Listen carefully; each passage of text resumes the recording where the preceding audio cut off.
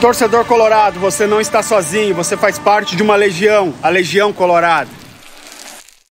Amigos colorados, torcedores de outros clubes, sejam muito bem-vindos a este canal, aqui vocês têm voz. O Internacional contratou Wanderson, um atacante de 27 anos, está vindo da Ucrânia, né, por decorrência da, da guerra, é, foi facilitado o negócio. É um jogador, pelo que eu estou vendo aqui, acompanhando os vídeos, é um jogador que é, gosta de atuar pela direita, né, bate com a perna direita, chuta, chuta bem e gosta de deixar os companheiros na cara do gol. Agora, vídeo de internet é uma coisa. Né? Nós acompanharmos os vídeos aqui, é óbvio que vão, vão mostrar sempre os melhores momentos do jogador. Né? É, eu acho que o dinheiro do. Eu vou, eu vou, vou ser chato aqui.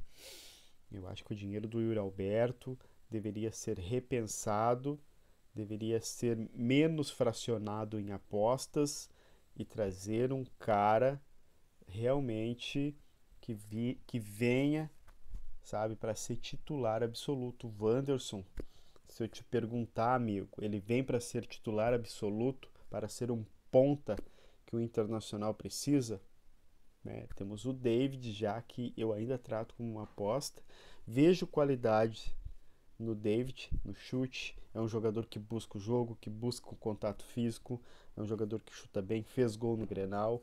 Tudo bem. Agora, o Wanderson é uma aposta para mim. Confesso que nunca tinha ouvido falar no Wanderson. Parece que o pai dele foi jogador do Ajax e ele começou a carreira lá. Agora, é, é, muito difícil você contratar um ponta. É, é caro. Um jogador é cada vez mais raro é, de, de, de, encontrar. Portanto, que os jogadores mais caros do mundo são os pontas, né? Ribéry, eu trato o Neymar como ponta, Mbappé, então são uh, Mané, Salah, jogadores realmente muito caros. O Internacional uh, se for para gastar dinheiro com aposta, não, não, não seria bom ter apostado no Guilherme Pato? Não estou dizendo que o Guilherme Pato joga o fino da bola, que o Guilherme Pato ia arrebentar com a boca do balão. Mas vai que o Wanderson venha pelo um salário de 700 mil reais por mês e jogue no mesmo nível que o Guilherme Pato, que quase não teve chance. No mesmo nível dessa gurizada da base do Internacional, se tornou campeã brasileira, que não está tendo chance. O Estevão, quando vai estrear?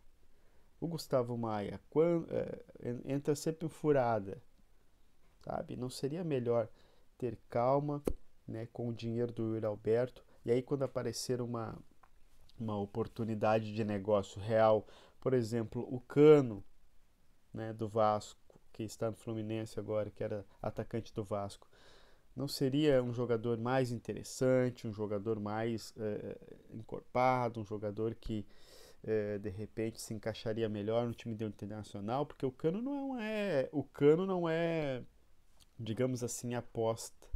Né? O Cano é uma realidade, mas posso calar a minha boca aqui. Eu quero estar errado.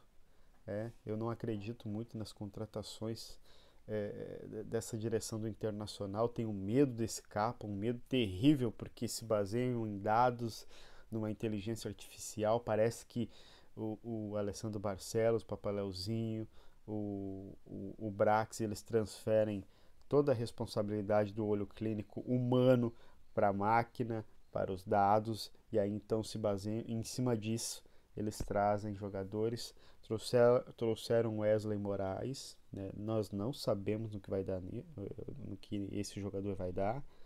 Trouxeram David, também não sabemos. E agora, Wanderson. Tomara, tomara, temos que torcer, porque dizer o jornalista aí, o cara, qualquer especialista em futebol disser que o Wanderson é uma realidade, que virá e vai resolver o problema é, é, é, da ponta direita do Internacional, qualquer um desses será aliviano. Quase ninguém viu o Wanderson, parece que nunca jogou no Brasil, né? É, o primeiro time que ele jogará aqui no Brasil será o Internacional. Espero que venha e aconteça, né? Assim como vários jogadores que nós não esperávamos muita coisa, colocou a camisa do Internacional e aí, cara, viraram ídolos. Tomara que seja o caso do Wanderson, né? E, cara, eu tenho medo que gastem esse dinheiro do Yuri Alberto. O Wanderson virá por empréstimo, mas um salário de 700 mil para o Wanderson, um salário de 700 mil para o Wesley Moraes. Não, não, não daria para fazer uma, uma proposta por um Leandro Damião, por um Pedro, por um jogador assim, por um jogador é, tentar ousadia. Eu já falei aqui em outros vídeos, ter ousadia e trazer um jogador mais rebuscado, um jogador mais rebuscado, um jogador mais uh, afirmado. Então eu tenho medo dessa direção que gastem o dinheiro do Yuri Alberto com várias promessas, sendo que promessas temos que utilizar as nossas, né? Temos que utilizar a gurizada. A gurizada não foi aproveitada no galchão. Isso foi um erro.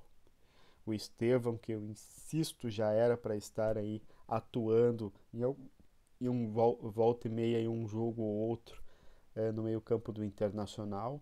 E vou insistir, vou ser chato, eu vou insistir.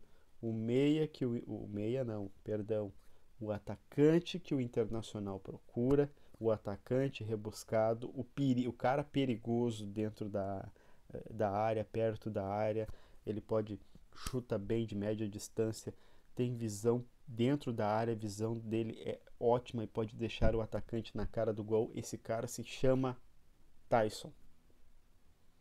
Tyson. Estão gastando dinheiro com promessa de aqui, com promessa ali, com promessa lá e o atacante, o melhor atacante, o melhor ponta está no Internacional.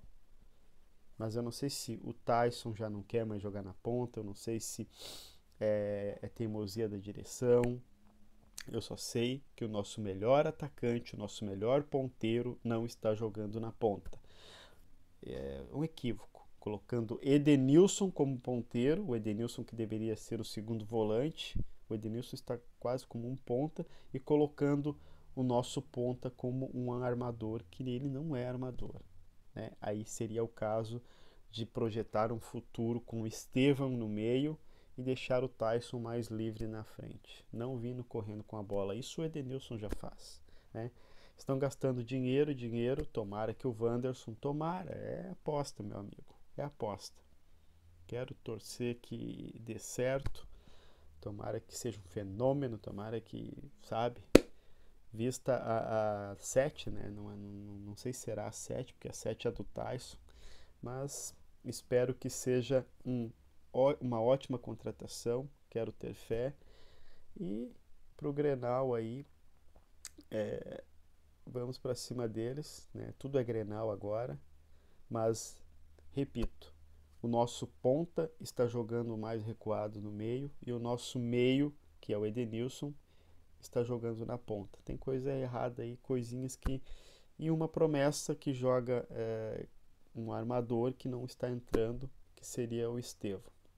Então, de repente, o Internacional pode estar gastando dinheiro equivocadamente. Tomara que não. Boa sorte ao Wanderson, seja bem-vindo, que jogue um bom futebol, que ajude o Internacional a conquistar coisas grandes este ano. É isso aí torcedor colorado, torcedores de outros clubes também que gostam, que acompanham esse canal. Se você viu o vídeo pela primeira vez ou acompanha o canal já faz um tempinho, deixe o seu like, se inscreva e ative o sininho das notificações. Até a próxima. Um abraço.